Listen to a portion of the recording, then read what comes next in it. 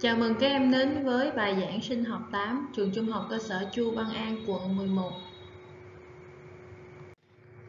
Khi em bị vết thương ở tay, tay sưng tấy và đau vài hôm rồi khỏi, vậy thì theo các em do đâu mà tay chúng ta khỏi đau? Để trả lời cho câu hỏi này, chúng ta sẽ cùng tìm hiểu qua bài tiếp theo của hôm nay nhé. Đó chính là bài 14, bạch cầu miễn dịch. Đầu tiên chúng ta cùng tìm hiểu các hoạt động chủ yếu của bạch cầu. Theo em, trong cơ thể sẽ có những loại bạch cầu nào? Trong cơ thể chúng ta đã học ở bài số 13 là có 5 loại tế bào bạch cầu.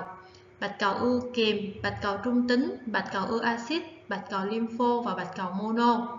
Vậy thì bạch cầu sẽ có chức năng gì? Bạch chức năng của bạch cầu đó là chúng tham gia bảo vệ cơ thể khỏi những virus và vi khuẩn xâm nhập vào cơ thể.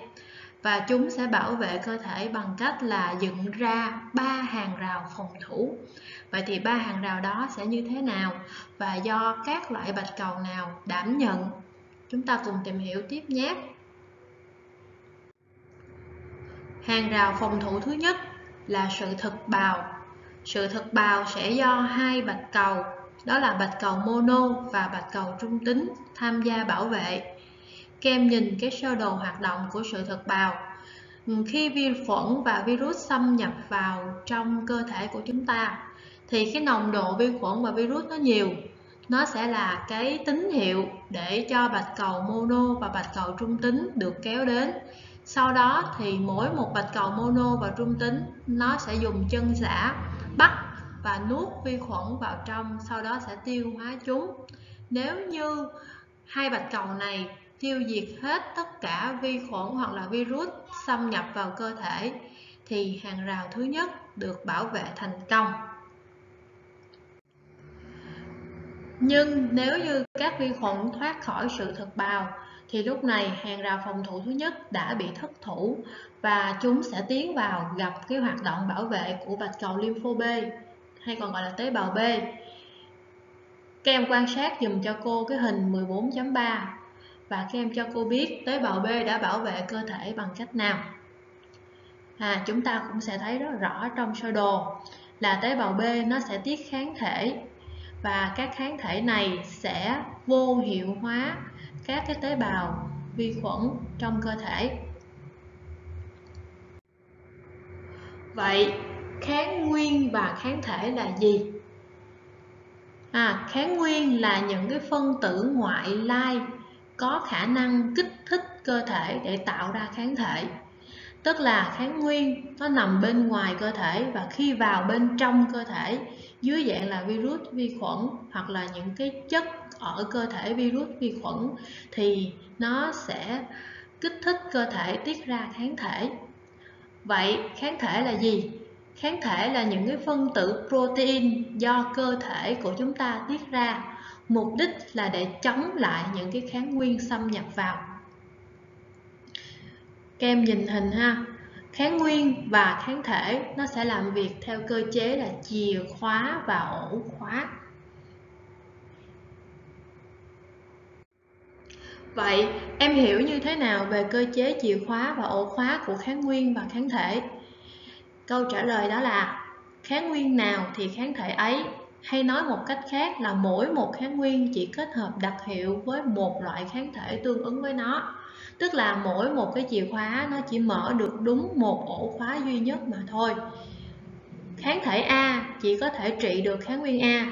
Tương tự, kháng thể B chỉ có thể kết hợp được với kháng nguyên B, vô hiệu hóa được với kháng nguyên B mà thôi à, và nếu như các kháng thể trong cơ thể chúng ta tìm được và vô hiệu hóa được tất cả các cái kháng nguyên vào trong cơ thể thì coi như là hàng rào thứ hai được bảo vệ thành công. Nhưng khi các virus và vi khuẩn thoát khỏi hoạt động bảo vệ của tế bào lympho B thì lúc này coi như hàng rào thứ hai đã bị thất thủ và vi khuẩn và virus sẽ tiếp tục tiến vào bên trong. Như vậy, khi nó tiếp bước vào bên trong thì các tế bào của cơ thể sẽ có tác hại gì? À câu trả lời đó là chúng sẽ làm cho các tế bào bị nhiễm bệnh. Lúc này thì tế bào lympho T, nó sẽ hoạt động để bảo vệ cơ thể. Các em quan sát cho cô cái hình 14.4 có trong sách giáo khoa và cho cô biết tế bào T đã phá hủy các tế bào nhiễm vi khuẩn virus bằng cách nào? Thì các em nhìn như hình, các em sẽ thấy ha. Đầu tiên là cái tế bào lympho T, nó sẽ đi tìm các tế bào nhiễm bệnh bằng cơ chế kháng nguyên và kháng thể. Sau khi tìm được rồi, bắt đầu nó sẽ kết nối với các tế bào bị nhiễm bệnh. Và bên trong các cái tế bào T này sẽ có các phân tử protein đặc hiệu các phân tử protein này nó sẽ được tế bào T phóng thích ra à, và nó tiếp xúc với tế bào bị nhiễm. Sau đó nó sẽ làm thủng cái lớp màng của tế bào bị nhiễm đó và đồng thời phá hủy luôn cái tế bào đã bị nhiễm bệnh. Vậy thì bạch cầu bảo vệ cơ thể bằng cách nào? À, chúng ta sẽ thấy là bạch cầu có ba hình thức bảo vệ cơ thể, hay cô còn gọi là ba hàng rào phòng thủ ha. Hàng rào thứ nhất là sự thực bào, do bạch cầu mono và bạch cầu trung tính đảm nhận. Hàng rào thứ hai là tiết kháng thể vô hiệu hóa kháng nguyên, do bạch cầu lympho B đảm nhận. Và hàng rào thứ ba là phá hủy những tế bào bị nhiễm bệnh, do bạch cầu lympho T đảm nhận. À, vậy thì bây giờ chúng ta có thể trả lời được câu hỏi ban đầu. Khi chúng ta bị vết thương ở tay, tay sưng tấy và đau vài hôm rồi khỏi à, Và chúng ta khỏi được đó là nhờ vào những sự bảo vệ của bạch cầu. Các em ghi à, các cái ý này vào trong tập giúp cô nhé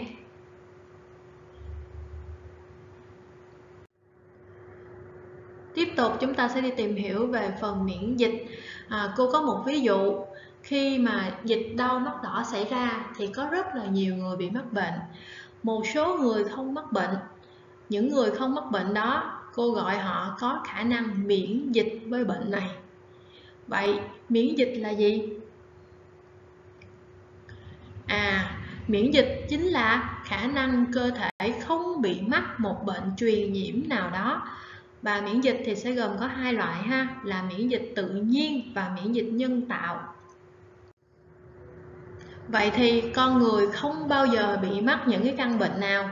À, đó chính là bệnh lợn tay xanh nè bệnh toi gà hay là bệnh lở mồm lông móng và gia súc. Thì những căn bệnh này con người chúng ta sẽ không bao giờ bị mắc phải. À, và cái khả năng mà mình không bị mắc những cái bệnh này chúng ta gọi là miễn dịch bẩm sinh.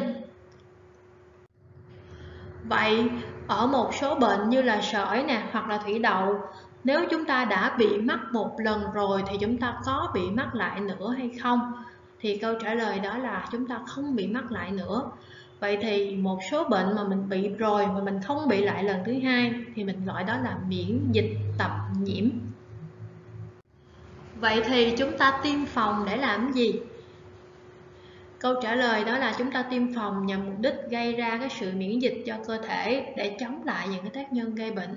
Ví dụ như là chúng ta sẽ tiêm phòng những bệnh sởi nè, bệnh uống ván, bệnh bạch hầu và phòng cái bệnh Covid-19. Trẻ em thì thường được tiêm phòng những loại chế phẩm sinh học nào? À, thì trẻ em sẽ thường được tiêm phòng vaccine. Vaccine là cái chế phẩm sinh học có tính kháng nguyên tức là nó sẽ có chứa những đặc tính của cái con virus và vi khuẩn gây ra cái bệnh mà chúng ta muốn tiêm phòng. À, tác dụng của nó là để tạo ra cái miễn dịch đặc hiệu chủ động. Vậy thì cơ chế nào làm cho vaccine tạo được sự miễn dịch đặc hiệu cho cơ thể? Câu trả lời đó là vaccine nó có tính kháng nguyên à, nó có thể giúp cho cơ thể của mình tạo ra kháng thể. Và các kháng thể này nó sẽ làm vô hiệu hóa những cái tác hại của kháng nguyên và tạo ra sự miễn dịch cho cơ thể. Vậy thì tóm lại miễn dịch sẽ bao gồm những loại nào? À, miễn dịch sẽ bao gồm hai loại là miễn dịch tự nhiên và miễn dịch nhân tạo. Miễn dịch tự nhiên là những miễn dịch mà mình có được một cách ngẫu nhiên khi cơ thể mới sinh ra hay là sau khi chúng ta đã bị nhiễm một bệnh nào đó. Trong miễn dịch tự nhiên thì bao gồm là miễn dịch bẩm sinh à, là từ khi sinh ra là con người đã không mắc bệnh à, là những cái bệnh mà ở da cầm da súc. Và miễn dịch tập nhiễm là khi bị một lần thì chúng ta sẽ không bị lần thứ hai. Còn miễn dịch nhân tạo là miễn dịch có được sau khi chúng ta đi tiêm phòng vaccine xong. Các em sẽ ghi dùm cô các phần thông tin của miễn dịch vào tập nhé. Tiếp tục chúng ta sẽ qua phần củng cố. Các em chọn các đặc điểm ở cột A nối với cột B sao cho phù hợp. Đáp án đó là à, bạch cầu trung tính thì sẽ bắt và nuốt tiêu hóa vi khuẩn hay còn gọi là sự thực bào. Bạch cầu lympho T sẽ tiết các protein đặc hiệu phá hủy tế bào bị nhiễm bệnh. Bạch cầu lympho B sẽ tiết kháng thể gây kết dính tế bào và vi khuẩn virus.